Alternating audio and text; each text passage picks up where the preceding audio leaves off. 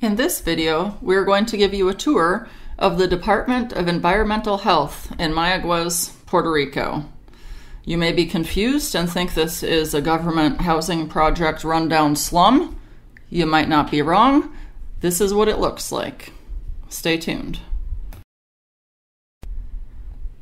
On October 4th, this past Friday, I flew to Puerto Rico for what was supposed to be my next appearance in my criminal case.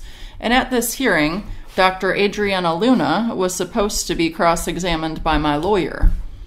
My friends and supporters and I all placed bets on whether or not she was actually going to show up, or if she would make some bogus excuse about a car accident, uh, being sick, bomb threats, or something else as an excuse not to show up. And of course, she didn't disappoint.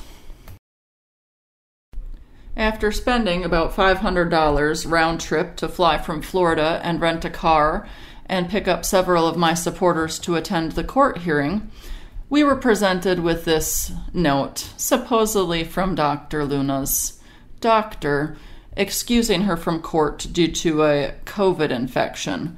Notice how this note is actually dated October 1st, and the court hearing was October 4th. Is there a reason why the, neither the prosecutor nor Dr. Luna notified me on October 1st when Dr. Luna got the supposed doctor's note saying she would not be in court on October 4th? Or are they just continuing to play games and make me fly down to Puerto Rico, spend hundreds of dollars, waste two days of my time to show up in court when they knew four days in advance that Dr. Luna would not be at this hearing and that she was the only witness scheduled to testify at this hearing. According to the prosecutor, Dr. Luna only let him know the day before the hearing. Well, fine. You could have let me know the day before the hearing because I didn't fly to Puerto Rico until the day before the hearing, specifically 11 p.m. the night before the hearing. So if they had any ethics and had any consideration for other people, they could have easily contacted my lawyer on the afternoon of Thursday, October 3rd, and told us that Dr. Luna would not be attending the hearing and that I could then stay home and not waste hundreds of dollars um, to fly there, rent a car, and also have numerous supporters of mine pay money, take off work, drive from San Juan 100 miles to Mayaguez to attend this hearing. But no, here is more examples of the bad faith, lack of ethics, and dishonesty between both the prosecutor and Dr. Luna, who are doing nothing but playing games and trying to waste as much time and money of mine as possible. So, now before we move on to our tour of the Department of Health in Mayaguez, let's take a quick look at this doctor's note. The doctor is supposedly Willie Vasquez, uh, located uh, in Ponce uh, at the suite number 909 at this address.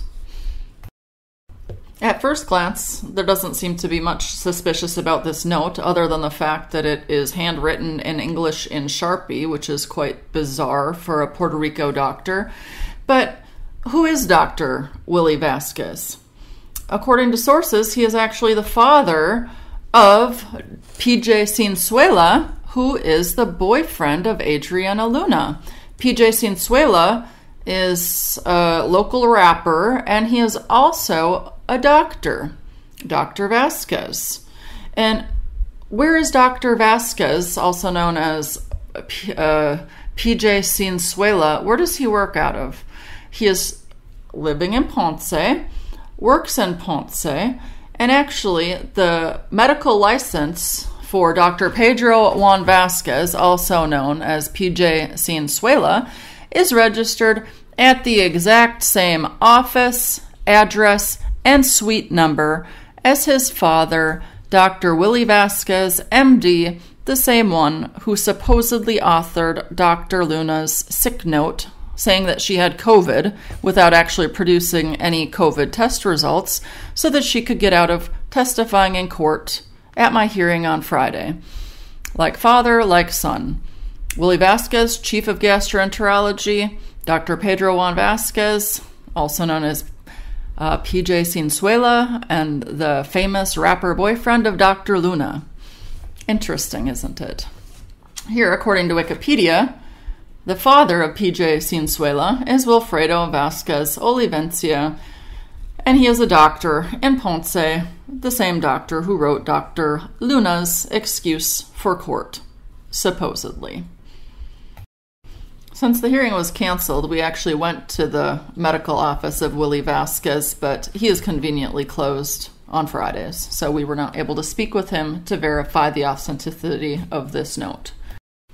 So, after the court hearing was canceled, Jeannie, one of my most loyal supporters, and I went to find the Department of Environmental Health to try to get the record that they have where Maria Gonzalez, my former neighbor, made complaints to the health department against me regarding uh, me having too much trash and causing her fly infestation and, and all her other bogus complaints that were already put to rest in a court hearing back in 2022. We drove to the published location of the health department only to find the building closed and run down with no signage or notice as to where it had relocated to. Thankfully, there was a nice older gentleman sitting across the street at a cafeteria in the parking lot, and so I approached him, and he was kind enough to give me directions to the Mayaguez Medical Center campus where they had relocated to. It was a bit of a drive to get to the Mayaguez Medical Center, but it looked like a nice modern facility, um, despite having to pay for parking. Um, and it was actually a very large campus with about 10 different buildings with absolutely no signage, no directions to tell you what building was what. We saw this one building and we thought, no, this certainly cannot be the Department of Health. It looks like a rundown government slum housing project. And on the upper levels, there were people sitting on the balconies, airing out laundry and going about their business. So we immediately dismissed that as a possibility. After driving around for about 15 minutes, we went inside and asked where the health department, specifically um, environmental health, was located, and we were told that it was in a building on the back side of the campus. So we went to the back of the campus, and there was this nice looking blue building and we assumed this must be the building. But when I went inside and started to walk around, a staff person told me that this was not the environmental health building, but that was a, a different building, um, actually, the next one over. So I went outside and started to walk around. Eventually, I walked back into the main medical center building and nobody in there seemed to know anything about the environmental health department. They kept referring me to the blue building, which was the Department of Health that included pediatrics and vaccines, but not the environmental health department itself. Eventually, someone finally told me that it was the yellow green building, the one that looks like a rundown housing project slum, and I was in complete disbelief. Although we had no idea which building was the Department of Health, we were certain that this building could not be it until a staff person actually verified for us that yes, this rundown, disgusting building is actually the Department of Environmental Health. I had absolutely no intention of making a video or recording this place.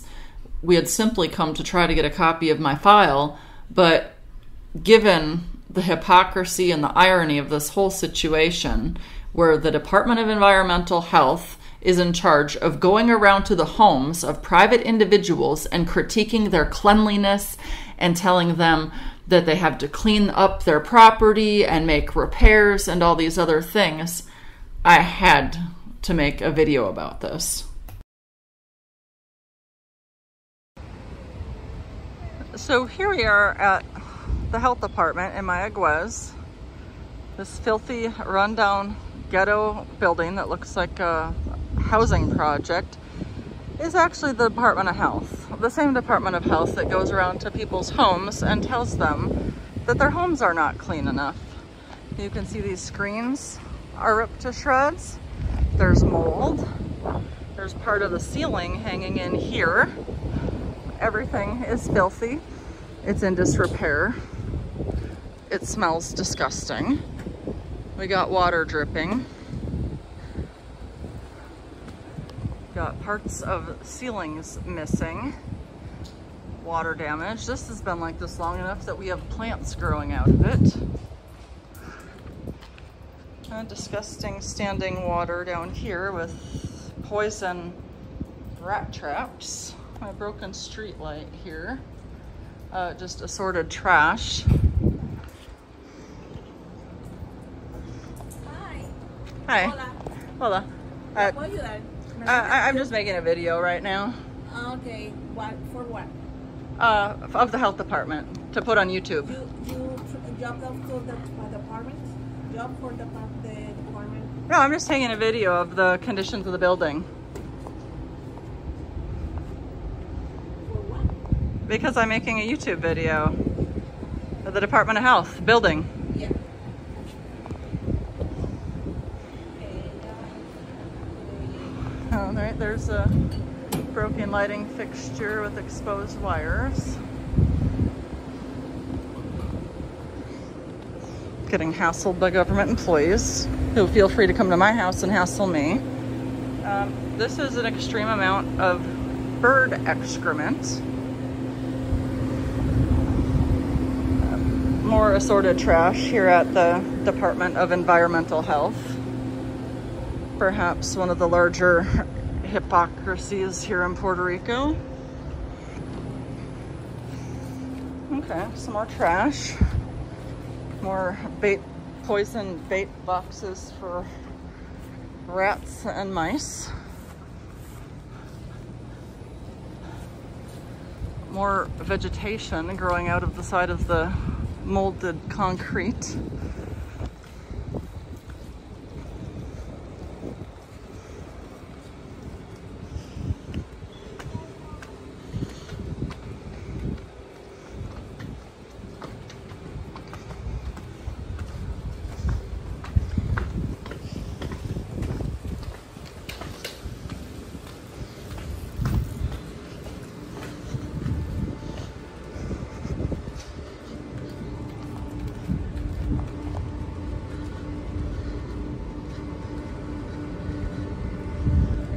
Here's more of the parking lot, some more of the rundown building here at the Department of Health.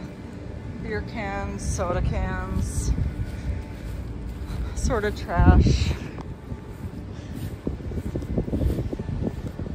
Iguana. Overgrown grass. Isn't that one of the complaints they had that uh, my yard was not properly maintained? All right, what else do we have here in the parking lot? The Department of Health. Oh, what's this?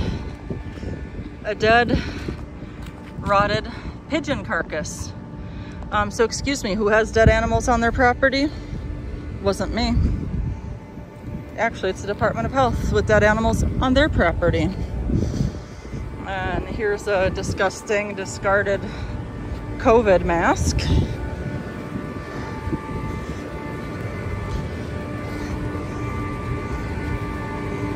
And here's a discarded medical latex glove next to a poison bait box and a cigarette. More trash. Beer cans. Smells disgusting. Smells like, oh, this is what it smells like, another dead pigeon. This is two dead pigeons rotting and smelling disgusting. More trash, and more trash, and trash, and another mask. Some broken pipes. More of their building in disrepair. More vegetation growing. Mold and rust.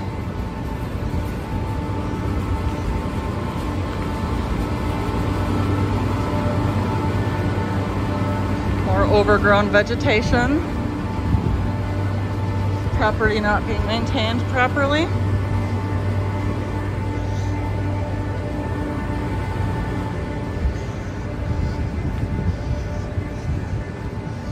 God, you smell rotting dead animals. Must be those pigeons.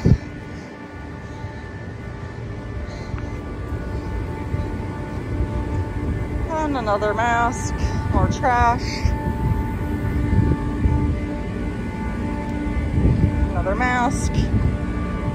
Overgrown vines on the fence. More trash, another mask. Do we have here in the parking lot at the Mayaguez Department of Health? Another one of their disgusting abandoned buildings. And here we have yet another dead and rotting pigeon. So what's that now? Three, four dead pigeons in the course of the last minute of walking around. But they're gonna come to my house and criticize me.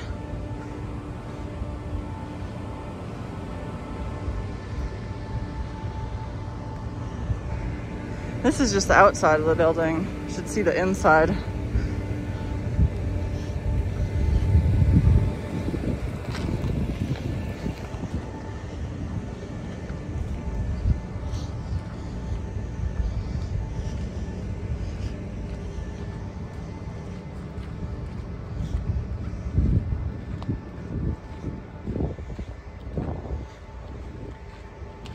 Here we have another overgrown part of the property.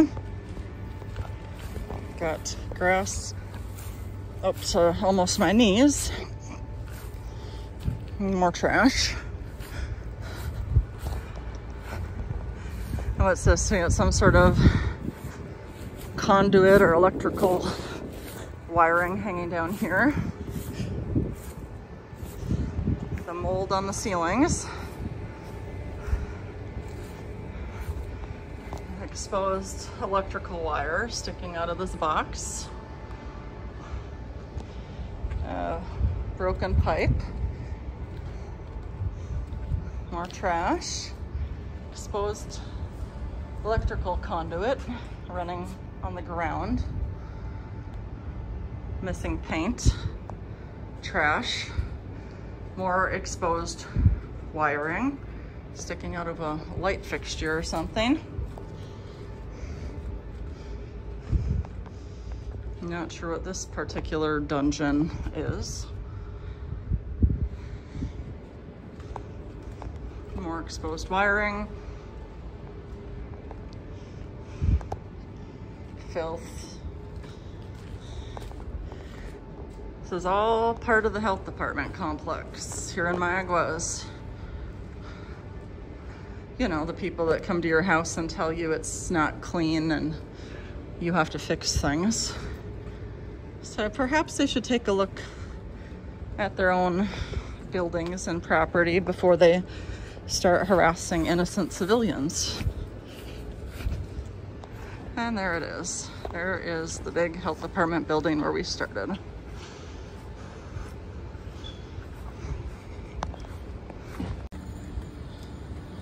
Okay, I'm here at the Department of Environmental Health to get a copy of the file containing the complaint that Maria Gonzalez made against me. Um, since it's a closed case, so they should give me the file. At this disgusting.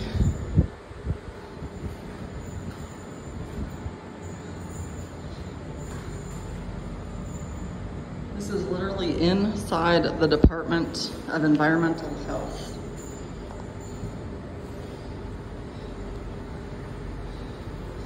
Amazing. These people come to my house.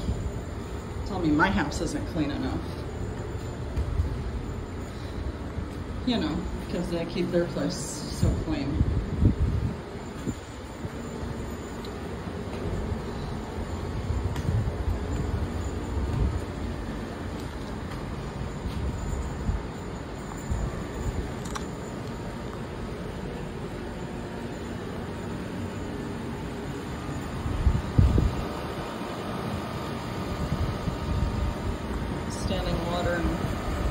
vegetation growing on the roof, mold here, just general filth, you know.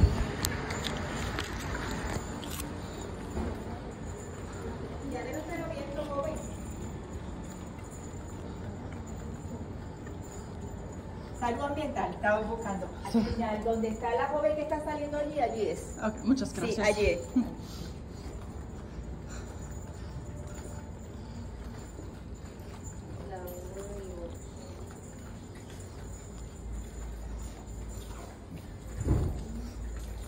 La supervisora la está esperando. Ah, gracias.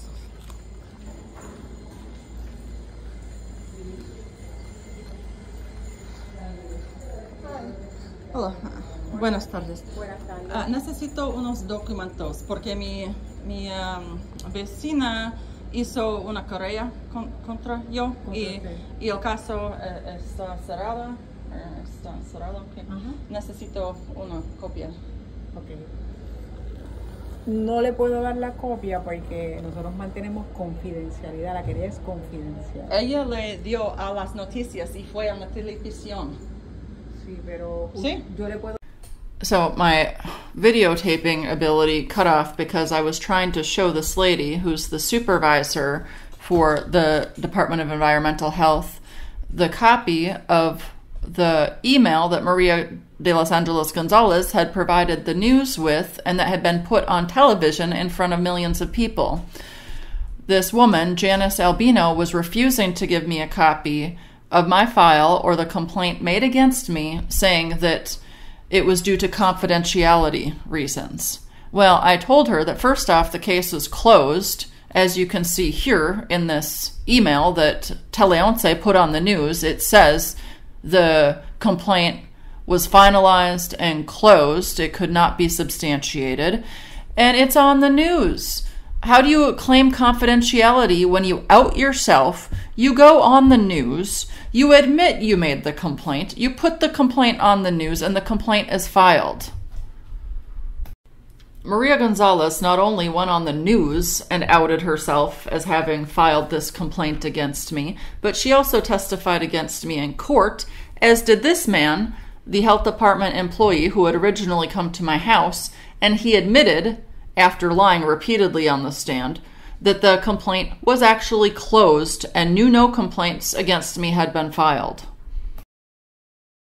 And again, if they're so concerned about confidentiality, why are these four men from the Department of Health at my house with the news, speaking to the news, telling the news that complaints had been filed against me, putting my name, my house, and everything else on the news in front of millions of people? Yet when I request a copy of the complaint that was filed against me, they refuse to give it to me, citing confidentiality reasons. Right. In the middle of my conversation with Janice Albino, the supervisor lady, this guy walked in, Eduardo Padillo, uh, Eduardo Padilla, the director of environmental health for Mayaguez, who had repeatedly been at my house and also in court against me. He also refused to give me a copy of the complaint against me or anything in my file, saying it was an open case and citing confidentiality reasons. They both told me that my lawyer would need to make a formal request. I said, Why does my lawyer need to make a request? I'm here right now making a request. The complaint is about me. It's already been on the news. You've been on the news talking about it. You and Maria Gonzalez have publicly testified in court against it, and I am entitled to a copy. Yet they refused. On my way out, I asked Mr. Eduardo Padilla, the director of environmental health, if he was aware that there were dead pigeons all over his property, along with medical waste and assorted trash. He said yes and shrugged me off, completely unconcerned. If this doesn't show you that this is a complete witch hunt and that this is all for political reasons and attacking the gringa and has nothing to do with anyone's concern about my animals, well, here they are illegally poisoning pigeons, leaving the dead carcasses all over the public property to rot, having their building covered in mold, covered in filth, covered in bird crap. Yeah, right. I'm sure I'm sure they're real concerned about my house. So thank you very much, Dr. Adriana Luna, for having your boyfriend's daddy in Ponce, uh, totally across the other side of the island from where you live and work in San Juan, write you a doctor's note on October 1st saying you have COVID, and then failing to notify me or my lawyer, or apparently even the prosecutor if you ask him, thank you for failing to notify any of us of your supposed COVID infection so that I could spend $500 to fly to Puerto Rico, rent a car, and not have a court hearing. But instead, take this wonderful field trip to enlighten us all on the actual conditions at the Mayaguez, Puerto Rico Department of Environmental Health. Look at this. Perhaps somebody should file a complaint against the Department of Health for their unsanitary and filthy conditions, for illegally poisoning the pigeons and leaving their carcasses to rot all over the property, for allowing medical waste and other assorted trash to be thrown all over the property, to have exposed wires, mold, and other filth sitting there for the public to enjoy. Thank you so much.